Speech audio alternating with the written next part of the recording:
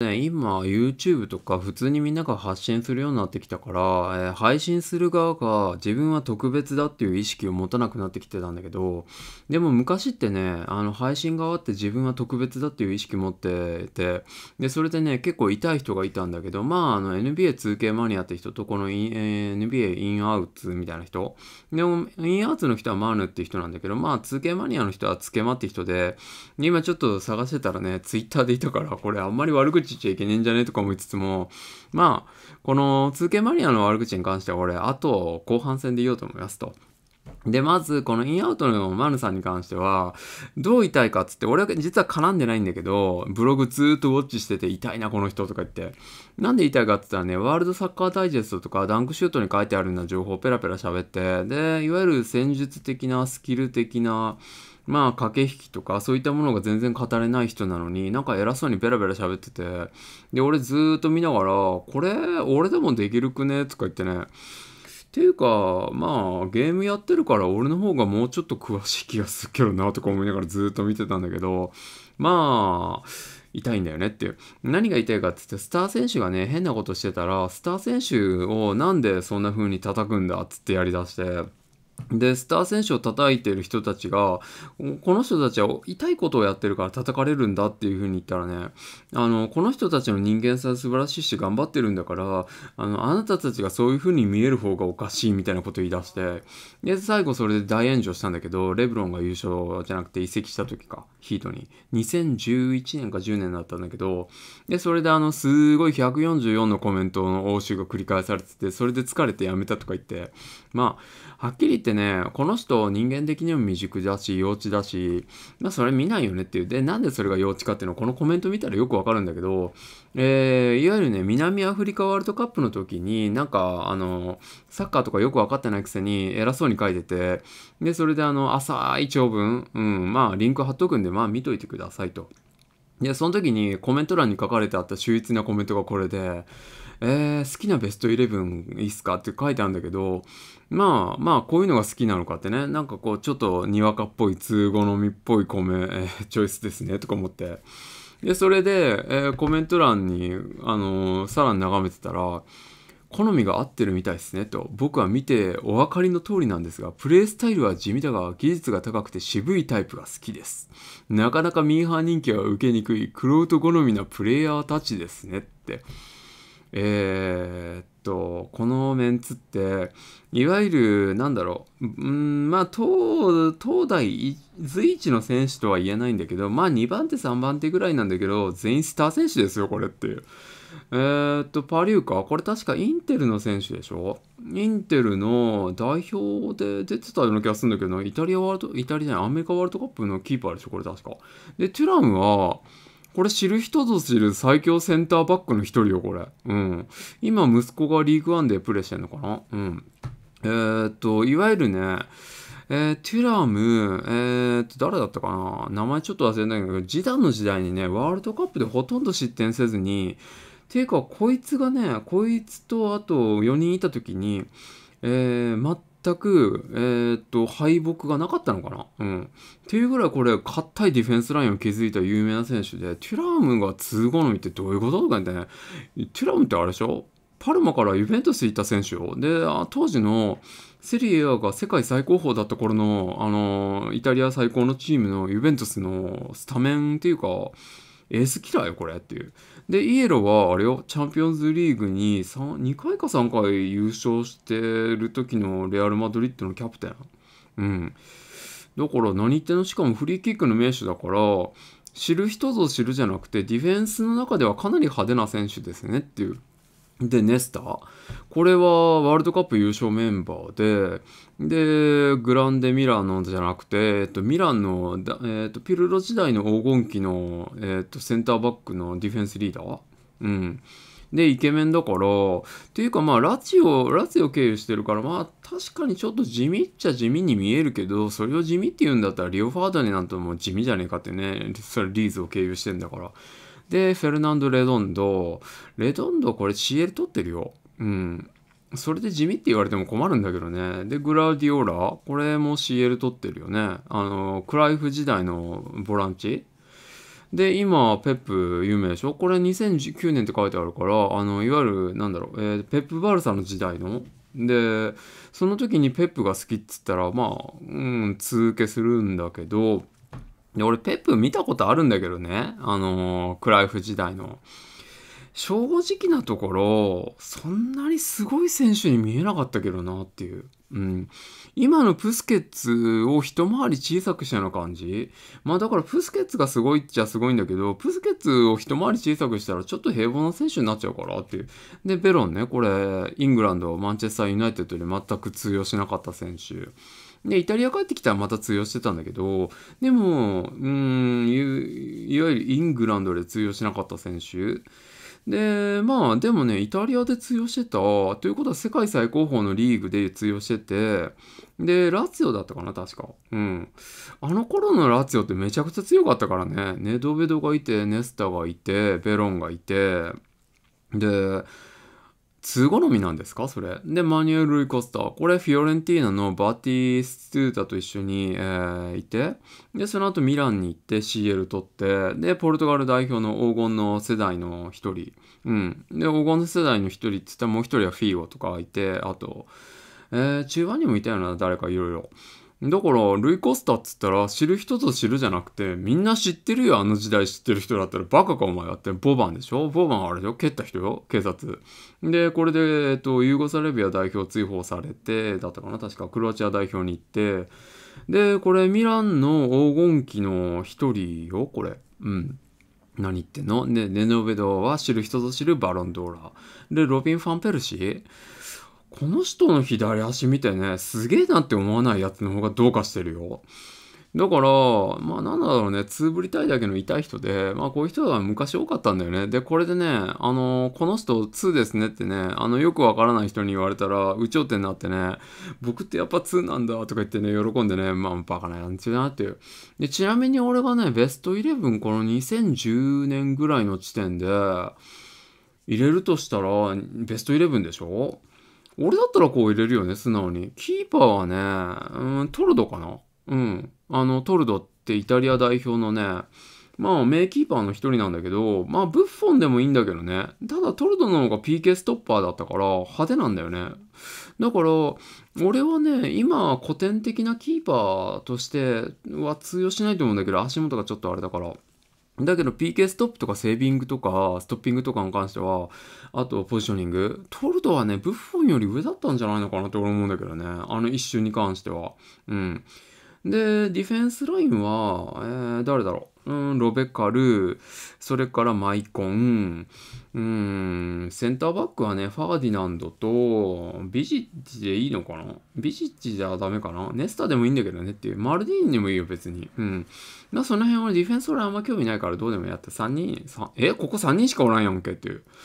サイドバック見てないな、こいつ。うん。カフー入れてもいいやんけって俺思うわけでね。カフーのあのオーバーラップとかすげえ良かったと思うんだけど、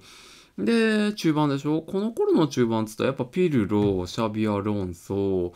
それからトッティ入れてもいいかな。トッティ中盤にしちゃダメか。うん。じゃあ、カッサーノうん。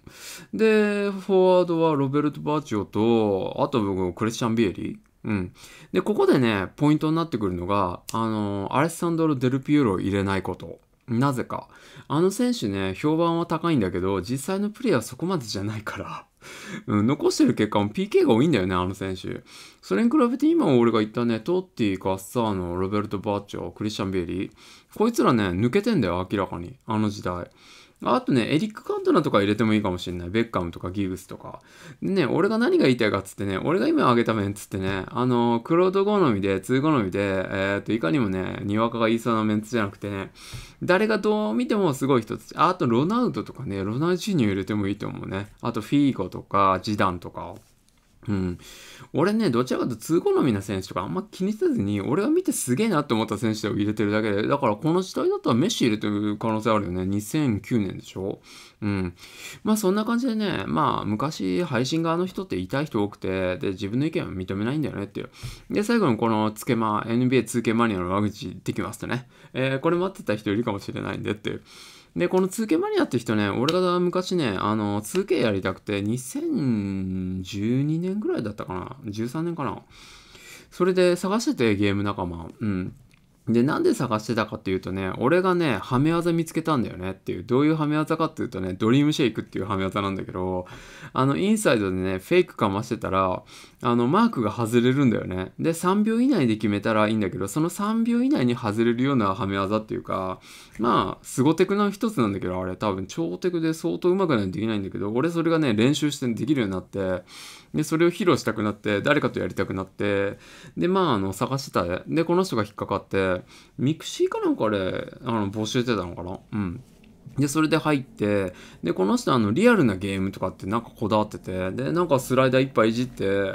で、俺を待たせて、で、対戦、対戦じゃないのか、コンピューター戦やってたのかな？これ、5対コンピューターみたいな幼稚な遊びなんだけど、幼稚とか言っちゃったんだけど、で、俺が入って人数が6人、7人になったから、まあ、それで対戦になったんだけど、あ、ちなみにね、これ入るときになんかね、アンケートみたいなの書かされて、ネットで。うん。メールかな？うん。で、それで好きな選手とか好きなチーム誰ですか？って言われて、まあ、とりあえず適当にペーサーズ、レジー・ミラーって書いといて、そしたらね、レジー・ミラー、ペイサーズが好きな、えー、あなたはちゃんとした NBA ファンですね、みたいな。にわかではございませんねって、ここでまたにわかって言葉が出てきたんだけど、なんでこいつらにわかとかね、クロートとか言いたがるのかなっていう。あの、たかだかね、あの、英語のね、ニュースとかを英訳して流してるだけの、お前らが、クロートなわけないだろっていう。ちょっと詳しいだけの NBA ファンだよ、お前らはっていう。なんだけど、そういうこと言い出して、俺、当時だとね、誰が好きだったかな？ケビン・ガーネットとか、スティーブ・ナッシュみたいな、いわゆるスタープレイヤーも好きで、で、派手なプレイしてたから、ラージョン・ロンドとかね、俺派手なプレイ好きなんだけどなとか思いながらずーっと話聞いて、だって今だそうなの、ステフ・カリーが好きだし、ヤニスも好きだし、ドンチッチも好きだし、ヨビッチじゃなくてヨキッチも好きだしって感じで、まあ誰もが好きなスタープレイヤーが好きで、まあ見ていて派手なプレイも好きでって感じで、むしろ俺が嫌いなのが、あの、お前らが通好みだとか、お前らが立派な人格だとか言ってるような、レブロンとか KD が嫌いなんだよっていう、あとコビーとか。うん。で、そんな感じで、まあそんなこと言われて、で、一緒にプレイするでしょう。で、俺が例のことかはめ技するわけね。うん、インサイドのポストをプレイして。そしたらね、リアルじゃないとか言い出して、なんでかって言ったら俺のね、フィールドゴールパーセンテージが8割になっちゃって、8割とかもうちょっと言ってたんじゃないのかな。うん。で、それで俺が、えっ、ー、と、1試合で、えー、両チーム合計で100点ゲームになったのかなうん。うちのチームが110点取って、向こうが70点ぐらいで、で、それで俺が40点ぐらい取ってて、で、それでリアルじゃないとか言い出して、40点取る選手いるんじゃねとか思いながら、まあ、お前ら下手だからしょうがねえよなとか思って黙ってたんだけど まあ、下手くそな連中のね、話なんか聞いてもしょうがねえしとか思って。で、それで2試合目やって、今度俺があの、アウトサイドプレイヤーやって走り回ってたんだよねっていう。で、走り回って、それでマークがずれるって向こうのやつが言い出して、あの、マークずらしてんだよって俺が言ったのよ。うん。で、そんなに走り回るのってリアルじゃないですかってこのつけまが言い出して、続けマニアが。えー、っと、レジー・ミラーとかリチャード・ハミルトンのプレーとか見たことないんですか？あなたは？みたいな感じで俺が言ったら、なんかムカッとしてて、で、まあそれはいいんだけど、まあちょっと抑え気味にやって、まあ適当に流すようにやってたんだけど、2試合目。まあ1試合目で大活躍してて、あのスキルの差見せつけといたから、まああの接待プレイしておきましょうみたいな感じで、一緒にいた人と俺ずっと言ってたんだけど、まああいつら下手すぎませんみたいなことずっと言ってたんだけど、実はこっち側のチャットで。うん。